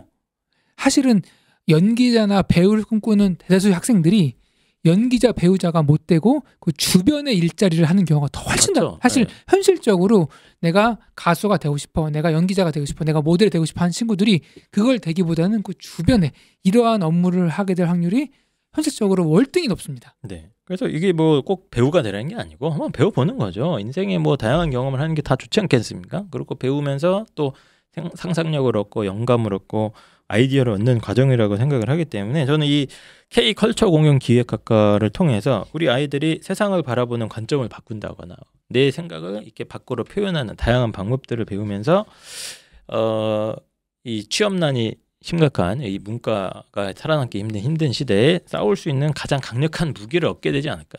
그리고 모든 인문 대학이 다 이렇게 바뀌어야 된다. 저 이렇게 생각을 합니다. 아무도 동의 안, 혹시 안 도- 해주시는데. 뭐 동의를 할 수는 없으나. 조선대 뭐 K 어쨌든. 컬처 공연 뭐 기획학과에서 뭐 뭐 후원 받았어요? 뭐야? 철학- 야 철학과에서 이런 것도 좀 하란 말이야. 어? 무대 연출이나 이런 것도 좀 가르쳐주고. 철학 저는 철학을 네. 두꺼운 책 말고 연극 영어로 어, 뭐 배우 배워야 된다고 있다니까요. 봐요. 예. 네. 그렇습니다. 철학은 매 순간 배울 수 있습니다. 그 삶에서. 네. 멀리 있는 게 아닙니다. 이러다가 항상 철학가가 망하지. 항상 가까이 있다고 해놓고 가장 멀리 있는 철학에 대해서. 그래서 일단 이 전공이 굉장히 인기 있는 전공이에요. 예, 가기 쉬운 전공은 아니고 학생부 교과 전형이랑 종합 전형을 선발합니다. 이과는 그리고 정말 특이한 게 이게 교육과정 거의 거의 방송연회잖아요. 근데 특기자는 안 뽑아요. 특기자 전형을 선발하지 않고 학생부 교과 전형으로 합격자 평균이 작년에 4.7 정도였으니까 아뭐뭐 어느 정도 했으면은 충분히 합격을 노려볼 수 있는 그런 대학이 되겠습니다. 학종도 거의 5등급 대 평균이 잡혔습니다. 그래서 경쟁률 자체는 요 과가 그래도 꽤 높더라고요. 예. 근데 뭐 실기나 이런 거 준비 없이 방송이나 뭐 이쪽에 관심이 있었던 아이들 혹은 케이팝 이런 거 너무 좋아한대요, 우리 딸이. 예. 딱 봐도 얘는 거의 반은 레드벨벳이다. 이런 애들 있지 않습니까? 예. 주변에 아까 얘기했던 뭐 아이돌, 스타, 가수, 배우들 되게 선망한 학생들이 많이 있는데 네. 그 자리에 가는 거는 정말 하늘의 별 따기고 음흠. 만약 갔다 하더라도 그 다음에 인기가 식는 경우도 엄청 많아요. 네. 근데 이거는 평생 안정적인 직업입니다. 맞습니다. 여기까지 얘기하겠습니다. 예, 그래서 의대나 공대랑은 뭔가 색다른 방법으로 어, 미래 사회에 맞서고 싶은 모든 아이들을 위한 어, 추천 대학이고요. 사회에 맞서야 되나요? 전, 수, 네. 수능하면 안 되나요? 예, K컬처 공연 기획학과였습니다. 네. 자, 그럼 그 다음으로 넘어갈까요? 마지막입니다. 네, 다음으로 넘어갈게요. 저는 일단은 4년제를 기준으로 말씀드린다고 했고 네, 그리고 가능하면 유일한 4년제 기준 유일 학과만 지금 선발을 선별을 했거든요. 네, 그리고 지금 방금 뭐 이 K 컬처 관련해서 뭐뭐 미래가 좋다, 안정적이다 말씀하시는데 아, 전 미래 좋다는 뭐 안정적이진 않을 수 있죠. 그러니까 업계의 저는 이제 특성상. 네.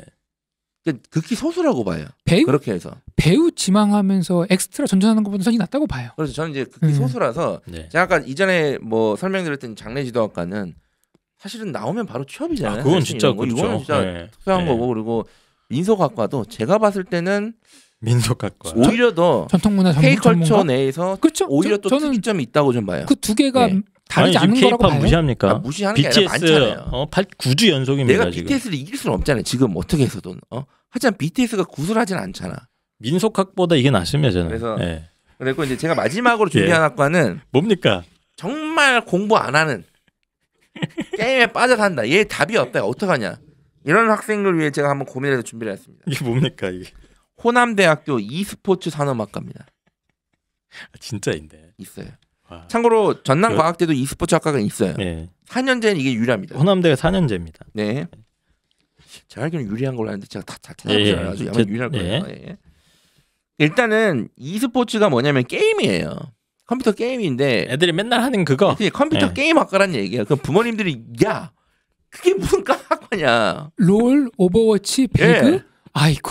애들 맨날 컴퓨터 앉아가지고 막 욕하고 키보드 치고 막 이런 거 그거를 가르쳐주는 학과입니다. 아니 그게 아니라 그거 관련된 이제 산업과 이제 트렌드를 연구하는 뭐 학과겠죠. 예, 그래서 일단 뭐 부모님들이 거예요 그래서? 예. 제가 봤을 때는 이 게임 중독, 게임에 미쳐 있는 학생들 때문에 고민이신 분들 중에 또 포기하신 분들도 많거든요. 뭘 포기해요? 아이를 아, 그렇죠 이제. 아이를 그냥 어. 포기했다는 게 그러면 이게 아니라 이제 학업적으로 그래 이제 네 이제 하고 싶은 대로 해라. 포기했다는 얘기죠. 네. 이제 어떻게 할수 없으니까 아이를 네. 설득하는 거를 그렇죠. 포기했다. 이제 이제 이런 경우에 이제 게임 중독 학생들한테 추천할 수 있는 학과가 이제 이 학과인데 일단 부모님들이 먼저 되는 게 e스포츠를 좀 먼저 아셔야 돼요. e스포츠. 예. 게임이지 뭐 게임이지 뭐, 뭐. 게임인데 뭐가 그게 스포츠냐? 어? 게임인데 게임을 스포츠 같이 만든 게 e스포츠잖아요. 우리나라에서 가장 높은 연봉을 받는 스포츠 선수가 롯데 이대호 선수라고 알고 계신 분들이 많아요. 지금 페이커 아닌가요? 페이커 선수입니다. 뭐라고? T1의 페이커 이상혁 선수가 연봉 1위입니다. 연봉 1위 예, 얼마 받아요? 이대호 선수 두 배 이상입니다. 제가 알기로. 페이커가 예, 페이커가. 페이커 연봉 쳐보자. 근데 이제 게임이 무슨 스포츠냐고 50억?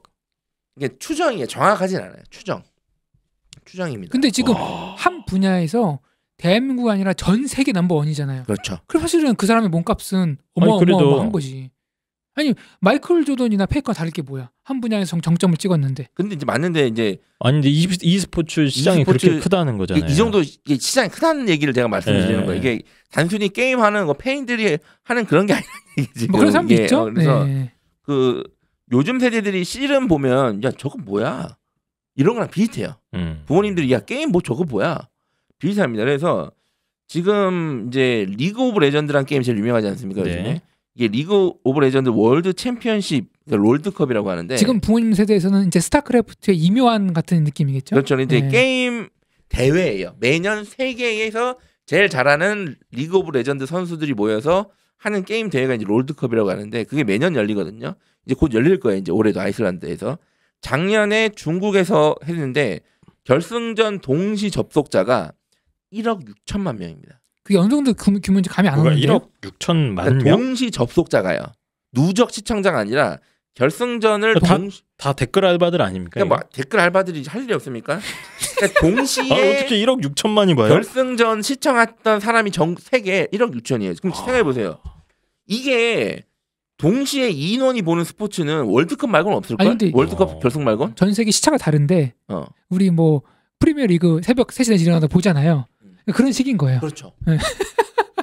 그러니까 이게 주요 글로벌 기업들이 스폰 광고를 엄청나게 적극적으로 하고 있어요. 지금 어. 현재. 이게. 그런 얘기 하면은 부모님이 그러잖아요. 내 아들이 페이커입니까? 그렇죠. 음. 그래서 내 자. 아들은 그냥 페이크다. 제가 말씀드리고 싶은 게 지금 찾아보니까 페이커 연봉이 약 30억 추정이네요. 30억. 저기 중국에서 백지 네. 투표를 줬다는 얘기도 있어요. 아 그래요? 그리고 어. 페이커 연봉이 30억 플러스 알파입니다. 플러스 알파입니까? 뭐 광고 그런 거 스폰서라든지 잡지 뭐. 이렇게 이제 좀 어. 스트리, 뭐 유튜버 스트리밍도 하기 유튜브 뭐 하기 때문에 좀 많고요. 핵심은 이제 e스포츠 산업 규모가 엄청나게 크다는 걸 먼저 아셔야 되고 네. 이게 우리 아이랑 저 게임에 처박혀 있는 애랑 뭔 상관이냐 네. 싶겠지만 일단은 좀 들어보세요. 크긴 크다. 참고로- 뭘 가르쳐 주냐면 학부모님들한테 참고하셔야 될 게 그 펜타킬 선생님께서 게임 중독자입니다. 그래서 이렇게 긍정적으로 얘기하는 그- 거예요. 뭘 가르쳐 주냐면 네. 네. 네. 영상 편집 기초, 게임 훈련, e스포츠 분석 및 기획, e스포츠 분석? 경기 분석, e스포츠 맵 제작, 게임 해설, e스포츠 코칭, 전술, 리그 기획 및 운영, 뭐 이런 걸 가르쳐 줘요. 게임과 관련된 전술? 게임 외에 이제 그 산업에서 필요한 네, 역할들을 그건 좀또 배우는 거 가르치고 같네요. 게임도 가르쳐 줘요, 심지어. 게임을 게임을- 가르쳐 이 준다고요? 게임을 게임을- 가르쳐 줘요. 왜냐하면 교수진이 교수가 누군데요? 총 두 명의 코치가 네 명이에요 여기가. 코치가 있어요. 예. 교수진에 교수 둘 코치 네 명이에요. 교수님들은 교수님 두 명은 딱 봐도 스타크래프트도 못할 것 같- 못하시겠 같은데 코치님들이 실제로 있네요. 예. 와 전공 과목이 리그 오브 레전드 레전드예요. 배틀그라운드입니다. 아니 이 사람들은 얼마나 잘해 게임을. 씨. 우리보다 잘하겠지. 그래요? 예, 그러니까 이제 교수 두 명이 코치 네 명인데 교수 두 명은 컴퓨터 관련 전공자랑 문화기획 관련 전공자신 것 같고 음. 코치 네 명은 리그 오브 레전드 코치 셋, 배틀그라운드 코치 한 명이에요. 네, 그, 어. 저 개인적으로는 교수진 보강이 좀 필요해 보이긴 한데, 어? 뭐 네가 갑니까? 근데 교, 아니 저는 저는 못 가고요. 교수진만 보면 좀 급조한 학과 티가 좀 나긴 나는데 어쨌든 그건 뭐 네, 그렇진 나중에 않을 것 같고. 학교에서 알아서 하기를 바라고요. 예. 네. 제가 이제 이게 이 학과가 졸업해서 뭐 하냐 음. 이걸 좀 봤는데 일단은 호남대 e스포츠 산업학과 오피셜이 있긴 한데 문제는 아직 아웃풋이 없습니다. 2020년 작년 3월에 1기 신학 아, 그래요? 받았어요. 예. 작년 완전 3월에. 신생 전공이네. 신생입니다. 그래서 이 홈페이지에서 제시한 진출 분야는 프로게이머, 음. 코치, 심판, PD, 스카우터, 해설위원 뭐 이렇게 돼 있거든요. 예. 예, 저는 개인적으로는 이거 다 대학에서 제시하는 건 시- 어렵다고 봅니다. 저 개인적으로. 뭐 그럼 뭐 여기 뭐 하러 가는 거예요? 일단 왜냐하면 뭔 예를 들어서 지금. 프로 게이머가 되시고 싶으면 이러, 이거 말이 안 돼요. 왜냐하면 프로 게이머 전성기가 몇 살인 줄 아세요? 10대 후반 아닌가요? 맞아요. 네. 중학교 10대? 때부터 고등학교 때가 전성기예요. 그때 진짜 미치게 하잖아요. 예. 실제 프로 게이머들도 그 아까 그 페이커 선수들도 가장 전성기가 고등학교 때였어요. 아 그럼 우리 아이들이 한창 전성기인 겁니까? 그렇죠. 그러니까 부모님들도 우리 아이가 혹시 지금 만약에 프로 게이머 된다고 까부는데 지금 우리 아이 나이 기준에서 이미 거의 전국 거의 뭐 프로 게임단의 오퍼가 올 정도가 아니면 이미 글렀다고 보시면 돼요. 음. 이미. 그리고 문이 20, 좁구나. 20대가 넘어가면 대부분 이제 은퇴를 하기 시작하거든요, 이제. 음. 그러니까 보세요. 이거 이 학과 가서 졸업하면 몇 살이에요? 스물셋. 내시자니까 안 돼요. 그러니까 프로게이머는 감이 없어요. 그러니까 프로게이머는 불가능해요. 그리고 보세요. 코치도 불가능합니다. 코치도 프로게이머 출신들이 하기 때문에 사실상 이것도 불가능해요. 어, 그럼 이거 이 과가 뭐 무슨 의미가 있는 거예요? 그리고 심판 PD도 불가능해요. 심판도 풀이 적어야 되게. 해설위원도 이미 전문적으로 하시는 분들이 워낙 압도적이기 때문에 이것도 불가능해요. 제가 봤을 때는. 네. 그럼 뭐 하냐 이거예요. 그럼 뭐 이게 뭐 뭐하러 가요? 그럼 여기 일단은 얘가 추천하는 거 맞아요 그렇죠. 지금? 제가 추천하는데 얘가 게임에 미쳐가지고 대학도 안 가려고 한다. 근데 대학은 가야 될 것 같다. 그러면 이제 요거를 생각해 보세요. 왜냐하면 일단 교육 과정을 보시면 얘가 요거는 혹할 만해요. 음. 왜냐면 대학 가서 게임을 하잖아요. 그죠? 그리고 야 너 할 거면 제대로 코치님 그렇지. 붙여줄게. 아, 그런 그런 거 아니에요. 그런 개념이잖아요 지금. 그런 거 아니에요. 네. 그런 개념은 아니라 야, 아, 꼴 보기 싫어. 나가. 그럼 이제 부모님 입장에서는 눈앞에서 사라지고 애도 부모님 눈치 안 보면서 게임하고 대학 졸업장도 딸 수 있는 구조인 거예요. 그리고 얘가 뒤늦게 아니, 나 지금 지금 나가잖아요 본질을. 네. 야 네. 너 나가잖아요. 네. 근데 얘가 뒤늦게라도 정신 차렸을 때 어. 어? 뭔가 그래도 대학 졸업장이랑 뭔가 배운 게 있어야 되잖아요. 제가 음, 그래서 음. 추천한 거고 제 개인적으로는 요기 졸업해서는 차라리 e스포츠 게임단 취업이 조금 더 현실적으로 보여요. 게임단이 뭐예요? e스포츠 게임단. 예를 들어서 프로야구도 게임단 있잖아요. 삼성 라이온즈, 아 구단 구단. 부산 베어스 네. 이렇게 있잖아요. 그래서 e스포츠 게임단이 지금 대한민국에도 되게 많아요. 뭐 SK텔레콤, 뭐 KT 이렇게 뭐 한화생명 뭐 이런 식으로 굵직굵직한 농심, 뭐 농, 기아 이런 건 다 후원이긴 하지만 어쨌든 이렇게 하는 경우도 있고 지금 뭐 해외에서 되게 많아요. 해외에서 음. 해외에서 이 게임단이 되게 많거든요. 그래서 차라리 요게 좀 더 현실적으로 보이고 저는 그리고 사실상 이 학과를 나와서 답은 게임 스트리머밖에 없다고 봐야죠. 음. 게임 유튜버. 게임 유튜버가 될 수도 있고. 그것도 예. 한 길이고 현태 선생님이 언급 안 한 것 중에서 사실 저도 게임을 좋아하거든요. 네 네. 예, 좋아하죠. 좋아하고 항상 관심 가지고 있는 분야고 앞으로 갈수록 게임 산업은 저는 유망하다고 보는 게 예. 네네. 저분은 이제 본인이 중독 중독될까봐 잘 안 하시는 분입니다. 온라인 게임 안 하고 오프라인 게임 가끔씩 하거든요. 네네. 지금- 한번 하면 또 끝을 보기 때문에. 이게 이제 고령화가 되면서 지금 게임을 즐기는 많은 중장년층이 노년층으로 들어갈 때쯤에는 음. 게임만큼 적은 비용으로 오랜 시간 즐길 수 있는 놀이 문화가 없습니다, 사실은. 그 그렇죠. 예. 예. 어디 다니기도 힘들고 그런 분들이. 전기세만 내면 된다. 그러니까 이런 분들이 의외로 많아요, 전 세계적으로. 어. 그래서 지금 대한민국의 게임 회사가 어 그거 아까 얘기했잖아요. SM, YG, 그 다음에 JYP, 예. 또는 뭐 3대 기획사, 연예 비, 기획사. 이거를 다 합친 것보다 큰 게 빅히트. 지금은 하이브로 이름 바꿨습니다. BTS가 있는 아, 회사. BTS. 예. 이 회사를 다 합친 것보다 대한민국의 게임 산업이 압도적으로 더 큽니다. 맞아요. 음. 지금 가장 큰 회사가 그 크래프톤이라고 네. 아이들이 좋아하는 배틀그라운드. 음, 그 네. 회사가 시가총액 한 30조 됩니다. 어, 30조? 30조 돼요. 그리고 NC소프트 리니지 NC소프트가 한 20조 되고 그리고 최근에 NC 소프트보다 거기가 더 높다고요? 더 높아요. 그럴 리가. 확인해 보세요. 지금 NC소프트 맛이 쭉 떨어졌는데 그리고 최근에 이제 도깨비라고 검은 사막 이런 게임으로 유명한 펄어비스라는 회사가 있는데 네. 도깨비를 냈어요. 도깨비가 메타버스를 활용한 이제 아, 요즘 게임인데 뭐 모았는데 그런 걸 다 알고 있어요, 근데? 그래? 아니, 아니. 저 양반? 경제 분야에서 어, 가장 핫한 섹터가 어디냐? 그러니까 게임이지. 예. 대한민국에서 작년인가요? BBIG라 그랬어요. 앞으로 대한민국 먹거리를 이끌어갈 회사 네 분야. BBIG, 네, 네, 네. 바이오, 배터리, 인터넷 게임. 바이오 제가 아까 말이랑 음. 어, 양식업자 제가 제가 예, 말씀드린 겁니다. 그렇죠. 예. 그거는 에너지도 돼요. 친환경 에너지잖아요. 말 타고 가는 거. 국가에서 정한 겁니다. BBIG. 어쨌든 바이오, 배터리, 인터넷 게임을 국가에서 지원을 할 거고 네. 왜냐면 이쪽 분야가 부가가치가 아, 커요. 그런데 잠깐만 이 애들을 그럼 여기 나와서 뭐 어딜 가라는 거야? 그쪽 분야에 취업할 수 있는 길이 저는 되게 그러니까 게임 회사 쪽으로. 그렇죠 게임 회사 쪽에 근데 저도 보니까 음. 이 이제 선수로서 뭐 전술 이런 것도 공부는 하는데 이렇게 보니까 이게 어쨌든 게임에 대한 전반적인 이해도를 가지고 이제 게임을 제작을 하거나 이런 쪽 게임 회사 쪽으로도 길이 있을 것 같아요. 가능한데 그걸 하려면 게임 회사들도 주로 프로그래머들이나 아니면 게임 기획 사실은 쪽. 주요 예. 대학 출신자 학생들을 선호합니다. 게임 회사들도 음. 그래서 얘가 여기 가서 정신 차리고 여기서 공부하면 가능은 한데 음. 뒤늦게 정신 차리면 제가 봤을 때는 입사는 좀 힘들어 근데 보여요. 뭐. 게임만 하면 사실상 네. 할 수 있는 게 없으니까. 예. 그러니까 이게 예. 게임 스트리머가 유튜브가 원래 게임 스트림 때문에 컸어요.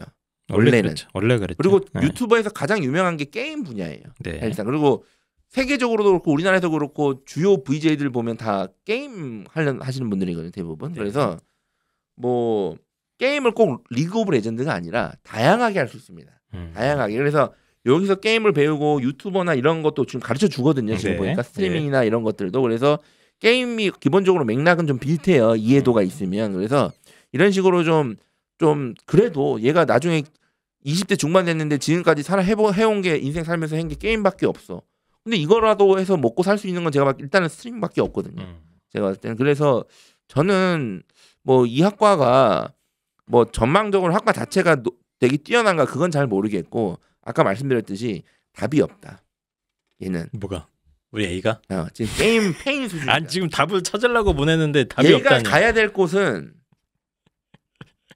그 중독 치료 센터 아니면 뭐 어쨌든 이 정도 수준이다. 그러면 이제 이걸 가지고 어쨌든 뭐 예. 서로 윈윈할 수 있는 방법도 있지 않을까. 꼴도 보기 싫으면 아 그리고 또 이- 이런 것도 있어요. 예. 근데 되게 현실적인 얘기인데 제가 가르친 학생들 중에서 게임에 빠져 있는 아이가 있어요. 어떤 대학을 가잖아요. 네. 그러면 새로운 세계가 열립니다. 음. 야, 너 요즘 너 요즘 게임 하냐? 그러면 뭐라 딱 뭐라 그러는 줄 알아요? 분명히 걔가 고등학교 때 그렇게 게임을 했는데 대학교 가서 자기는 밤새도록 게임하는 게 소원이라 그랬는데 대학교 가서 만났거든요. 네. 잘 지내냐? 너 게임 많이 하냐? 그러니까 뭐라는 줄 알아요? 게임을 왜 해요? 야, 너 어. 게임 좋아하잖아. 선생님, 대학가 할게 얼마나 많은데요. 음. 미팅하지, 술 먹고 놀지, 뭐 이것도 좋은 건 아닌데. 공부는 안 하네요. 확실한 건 그때나 지금이나. 뭐 뭐 뭐 그 공부까지 기대자. 어쨌거나 게임 중독에서 네. 벗어날 다른 자극들이 생기더라. 그렇죠. 그러면서 이제 본인의 앞, 미래도 고민해보는 거고 이렇게 저렇게 준비하는 거 아니겠습니까? 그러니까 제가 뭐 게임 중독자들을 보내라는 얘기가 아니에요. 그럼 여기 학생들은 다 게임 중독자예요. 그런 얘기가 절대 아닙니다. 네. 그런 게 아니라 이제 그런 식으로 생각해 볼 수 있는 이색 학과가 있다. 네. 한번 우리 아이가 지금 뭐 아니면 우리 아이가 게임을 너무 좋아해 진짜로. 그래서 그런 학과도 혹시 찾고 있어 애가. 거기에 어. 대한민국 게임 산업이 생각보다 크고 음. 게임 산업의 미래가 밝다. 예. 네. 그래서 이제 이런 식으로도 한번 생각해 볼 수 있는 옵션이 있다. 네. 라고 이제 소개시켜 드린 거고요. 예. 알겠습니다. 그래서 여기 보니까 뭐 영상 편집에서부터 뭐 크리에이터 맞아요. 콘텐츠 다 기획 뭐. 이런 유튜브 것들 학과의 예. 내용도 좀 있어요, 사실상. 예, 그런 것들도 가르쳐 주기 때문에 게임을 너무 사랑하는 어, 아이들이 많지 않습니까? 예, 이런 그러니까 아이들한테는 예. 뭐 옵션이 될 수 있겠다. 제가 자주 네. 보는 유튜버 그 영상 게임 영상 중에 Planet Coaster 관련된 영상이 있거든요. 뭔가요? 그게 이제 놀이동산 만드는 게임인데 아, 아, 아. 놀이동산을 이상하게 만들어 가지고 문명 뭐 그런 건가요? 약간 비슷한 예. 건데 이제 놀이동산 이렇게 하는데 사람들을 모여서 막 사람들을 막 그 막 다 날려보내고 막 그렇게 근데 거기 보면 이제 게임 맵 제작도 해야 되고 네. 이 다양한 요소가 들어가거든요 사실상 그래서 저는 개인적으로는 어쨌든 알겠습니다. 뭐 고민해 볼 만한 학과다 여기는 어떻게 갈 수 있습니까? 자 여기도 지원하면 지원하면 붙을 수 있습니다 알겠습니다. 네. 아, 그래요? 예. 알겠습니다. 호남대학교 게임학과까지 아니 죄송합니다. e스포츠 학과죠. e스포츠 학과까지 쭉 한번 아, 살펴봤습니다. 그래서 일단은 이제 펜타킬 선생님께서는 이제 첫 번째 안동대 민속학과 거기서 어, 제기차기만 배운 게 아니라 어, 한국의 문화 컨텐츠를 아, 저는 전문화시키시. 그세 개 학과 중에 지금 선택해서 가라 그러면 저는 민소학과 갈것 같아요 진짜 알겠습니다. 을지대 장례지도학과 그리고 호남대 e스포츠 산업학과 이세 개의 특이한 전공들을 설명해 주셨고요. 어, 홍프로님이 굉장히 특이합니다. 홍프로님은 태권도 외교, 아 K 태권도의 어떤 위상이 어마어마하게 높다는 거. 가르치고 되게- K 보육. 예, 어쨌든 어 저는 근데 되게 창의적이라고 생각합니다. 이 우리나라의 태권도 한- 학원 운영 시스템은 전 세계적으로 워낙 치열한 경쟁 속에서 탄생한 아, 체계적인 시스템이라고 생각을 해서 이것도 길이 될 수 있다 말씀을 드린 거고 유튜버 학과도 실제로 있다. 예, 그래서 어, 학부모님들 중에서도 아 내가 유튜버 해도 저 정도는 잘할 것 같은데 이런 분들도 갈 수 있는. 예. 아이가 유튜버 노래를 부르는 애는 한번 배우게 해줘 봐라. 예. 유튜버 보는 거보다 낫다. 그리고 전남과학대 호텔 조리 김치 발효학과. 예, 어쨌든 일종의 틈새 시장처럼 예, 장아찌, 장아찌 체인점 좋을 것 같습니다. 이런 것도 설명을 드렸습니다. 그리고 저는 어, 말 특수동물학과 아이들이 생명과학을 좋아하는데 그거 배워서 쓸 데가 없어요. 그냥 가면은 그래서 말 특수동물학과라든가 양식생물학과 이런 것들 아, 쏠쏠한 비전 있는 학과다 이렇게 설명을 드렸고 이제 K컬처 공연 기획학과 이런 것들도 저는 인문학과를 배우는 학 사람들이라면 이제 이런 것들 걸 이렇게 기본 소양처럼 어, 철학과 다니면서 연기도 한번 배워보고 무대 연출도 한번 해보고 어, 그런 기회를 가졌으면 좋겠다는 생각이 들었는데 이과 보면서 아 그런 교육을 갖다가 이게 제일 좋은 게 저는 실기 없이 갈 수 있다는 게 좋더라고요. 예, 음. 실기 없이 갈 수 있는 그런 과도 있더라 설명을 한번 들어봤습니다. 그래서 저희가 추석을 맞이해서 아, 방송 뭐 할까 하다가 아, 딱히 할 게 없어가지고 예, 이색학과를 한번 추천해보자. 특집을 하면 이세학과 찾아보자. 그래서 제가 이것저것 많이 찾아봤어요. 그래서 저기 뭐 원광 디지털 대학교 뭐 얼굴 딱. 경영학과까지 나왔었어요. 그런 거. 그런 거 나중에 할 겁니다 저희가. 아, 나중에 할 그래? 건데 스포일 하면 어떡합니까? 나중에 예. 언제 할 건데? 내년 추석 때 하겠습니다. 그렇습니다. 되게 많았습니다. 생각 예. 저희도 깜짝 놀란 게 음. 이게 이제 전문대까지 하면 정말 많더라고요. 정말. 예. 4년제도 요즘에는 좀 이세학과가 늘어나는 추세고. 네. 네. 그래서 저희가 오늘 말씀드린 학과들이 꼭 이 분야 이 과를 가라는 게 아니라 이제 좀 시야를 넓혀보자. 어, 아이들이 혹은 이제 학교에서 생각하는 어, 학부모님들이 선생님들이 생각하는 과들이 너무 이게 제한적이고 한정되어 있는데 조금만 생각을 넓혀보고 시야를 넓혀보면 펜타킬 선생님 말씀대로 돈 벌 구석들이 꽤 많거든요. 그렇죠. 예. 예. 돈 벌 수 있는 구석들이 많은데 너무 우리가 틀에 박혀서 생각을 하니까 아 졸업하고 뭐 하지? 그러니까 이제 이런 맞아요. 생각을 하는 것 같아요. 한쌤 말씀이 맞습니다. 저희가 이 학과를 가라, 뭐 발효 김치학과를 가라 이 얘기가 아니라 어 제가 아까 민속학과 얘기하셨잖아요. 네. 그러니까 부모님들이 매일 민속학과 간다 그러면 망했다 이렇게 생각하지 마시고 그냥 얘가 이상학과 나가 뭐 갑자기 학과를 하나 간다 그랬는데 뭐 처음 들어보는 학과다 그러면 얘 뭐 인생 그렇 이렇게 생각하지 마시고 다 이유가 있다. 음. 학과에는 다 그렇게 좀 미래를 어떻게 보면 좀 고려하는 마음으로 좀 학생들을 좀 지도해 주면. 어떤가. 좀 더. 다양한 세상, 다양하게. 다양한 어, 아이디어가 준비되어 있는 세상이기 아니 맞잖아요. 때문에 예를 들어서 의대 가려는 이유가 뭐예요? 또 벌러 가는 거지. 돈 벌러 가는 거 돈을 안정적으로 잘 벌러 가는 거잖아요. 많이 벌러. 그리고 고, 고 급 기술이니까. 그렇죠. 뭐 공, 공대 가서 또 뭐 하려는 거예요? 돈 벌러 가는 좋은 거죠. 직장 얻어서 결국 돈 벌려고 하는 거잖아요. 그죠? 예. 목표는 똑같아요. 제가 봤을 때는. 그래서 다양한 수단이 있다.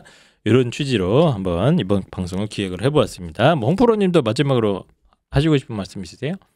지금 전 세계적으로 대학교를 들어가고 나오는 거에 대한 효용 가치가 굉장히 빠른 속도로 떨어지고 있습니다. 아, 그렇죠. 그리고 대한민국은 특히나 저출산으로 확정된 미래예요. 음, 이미 아 이게 인구 변화가 급격하게 되면서 이게 지금의 사고 방식으로는 도저히 미래가 예측이 불가능하거든요. 네. 어차피 다 똑같은 대학교 도- 똑같은 과 들어가지만 아이들은 각자 갈 길로 가거든요. 음. 그래서 그러한 낭 좀 부모님들이나 학생들의 생각을 좀 다르게 하면은 그러한 불필요한 낭비를 줄일 수 있지 않을까 하는 생각에서 한번 추천드려봤습니다. 네, 알겠습니다. 그래서 입시왕 추석 특집 방송 어, 어디서도 안 알려주는 어, 그런 유니크한 이색 학과들을 한번 저희가 이 다시 말씀드려 애들. 인생 가지고 장난친다 이렇게 네. 댓글 다실 것 같아가지고 어? 야, 약간 좀 걱정인데 장난치는 거 아니고요. 일단은 거기 학과를 가라는 게 아니라 이 네. 정도로 시대가 바뀌고 있고 네. 이런 학과들이 앞으로 계속 생길 거예요. 맞습니다. 예, 그래서 네. 나중에 야 e스포츠 학과 그런 게 어딨어? 뭐 이게 꼰대 소리 듣지 마시고 네, 좀 이렇게 길을 열어두자. 예. 맞습니다. 그래서 시야를 넓혀, 넓혀 보고 어, 세상이 변화하는 속도에 이렇게 귀를 기울이시면 우리 아이들의 미래가 조금씩 보일 수도 있지 않을까 이런 생각을 한번 해봤습니다. 그러면 어, 추석 한가위 명절 잘 보내시고요. 어, 저희는 추석 끝나고 또 돌아오도록 하겠습니다. 입시양 방송 이것을 마치겠습니다. 안녕. 감사합니다.